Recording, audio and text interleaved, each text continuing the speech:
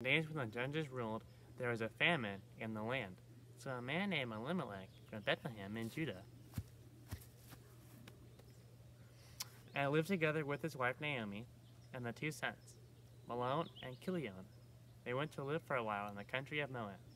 But sometime thereafter, Elimelech died.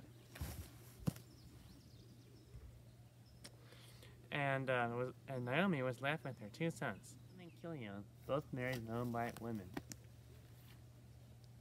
One named Orpah and the other named Ruth. After they had lived there about ten years, Mahlon died.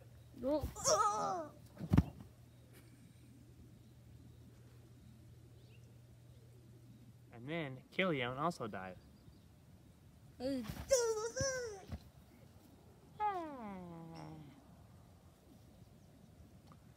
After some time, Naomi heard that the Lord had come to the aid of his people by providing food for them. So she and her daughter-in-laws prepared to return home. Go back, each of you, to your mother's home. May the Lord show you kindness, if you have shown kindness to me. May the Lord grant that each of you find the rest in the home of another husband. We will We'll go back with you to to your your people, people, Naomi. Return home, my daughters. Why would you come with me? Am I going to have more sons? Who can become your husbands? Return home, my daughters. I am too old to have another husband.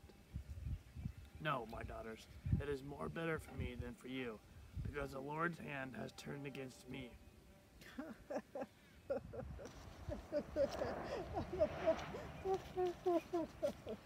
Your sister-in-law is going back to her people and her gods with her. Go back with her. Don't urge me to leave or to turn back from you. Where you go, I will go, and where you stay, I will stay. Your people will be my people, your God, my God. Where you die, I will die, and there I will be buried. May the Lord deal with me, be it ever so severely, if even death separates you and me. So the two women went on their way until they came to Bethlehem. When they arrived, the whole town was stirred because of them. And the women exclaimed, Can this be Naomi? But she said, Don't call me Naomi.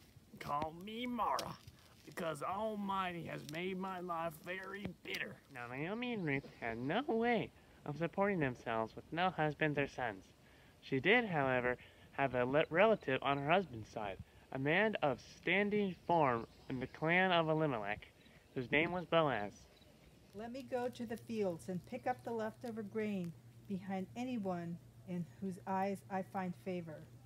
Go ahead, my daughter. Go ahead. She went out, entered a field, and began to glean behind the harvesters. As it turned out, she was working in a field that belonged to Boaz, who then just arrived from um, Bethlehem. Well, good morning, Master Boaz.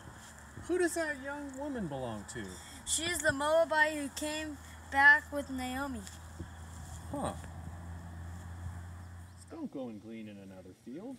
And don't go away from here. Stay here with the women who work for me. I've told the men not to lay a hand on you. And whenever you are thirsty, go get a drink from the water jars the men have filled. Why have you found such favor in your eyes that you notice me, you foreigner? I've been told all about what you did for your mother-in-law, how you left your father and mother and homeland, and came to live with a people you did not know. May the Lord repay you for what you have done. May you be richly rewarded by the Lord, the God of Israel, under whose wings you have come to take refuge. Did you glean today? Where did you work? Blessed be the man who finds favor in you. The name of the man I worked with today is Boaz. He has not stopped showing kindness to our relatives, the living and the dead. That man is also our close relative. He is one of the guardian redeemers. Tonight he will be winnowing barley on the threshing floor. Wash, put on perfume, and get dressed in your best clothes. Then go down to the threshing floor, but don't let him know that you are there. When he lies down to sleep, uncover his feet, and lie down. He will tell you what to do. I will do what you say, whatever you say. When Boaz had finished eating and drinking and was in good spirits, he went down. He went to lie down at the far end of the grain pile.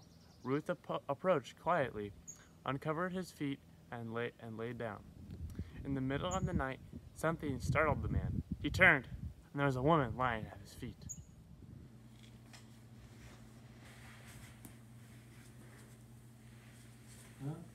What? What? What? Who are you? I am your servant, Ruth. Spread the corner of your garment over me, since you are a guardian redeemer of our family. Oh, the Lord bless you, my daughter. This kindness is greater than that which you showed earlier. Don't be afraid. I will do all that you ask. I know that the whole town knows that you are a woman of noble character. Although it is true that I am the guardian redeemer of our family, there is another who is more closely related than I. If he is willing to do his duty, so be it. But if not, as surely as the Lord lives, I will do it. Oh, did it go, my daughter? Boaz showed me great kindness, and he gave me six measures of barley, saying, Don't go back to your mother in law empty handed. Wait, my daughter, until you find out what happens. For the man will not rest until the matter is settled today. Meanwhile, Boaz went up to the town gate and sat down there just as the guardian redeemer he had mentioned came along. Ah, hello. Naomi, who has come back from Moab, is selling the piece of land that belonged to our relative Elimelech. I thought I should bring the matter to your attention and suggest that you buy it. However, you must also know that on the day that you buy the land from Naomi, you also acquire Ruth the Moabite, the dead man's widow, in order to maintain the name of the dead with his property. Then I cannot redeem it, because I might endanger my own estate. You redeem it yourself. I cannot do it. Buy it yourself. Hmm. Today, you are witnesses that I have bought from Naomi the property of Elimelech, Mahlon, and Kilion. I have also acquired Ruth the Moabite as my wife, in order to maintain the name of the dead with his property, so that his name will not disappear from among his family or his hometown. Today, you are witnesses. You see, in earlier times in Israel, for the redemption and transfer of property to become final, one party took off his sandal and gave it to the other. This was the method of legalizing transactions in Israel. So Boaz took Ruth, and she became his wife. She gave birth to a son, and they named him Obed. He was the father of Jesse, the father of David. You know, King David. Amazing how God works everything together, isn't it? Looks like he had a plan all along. Truly, God works together for good, for those that love him and are called according to his purposes. Methuselah Zamblini, signing out.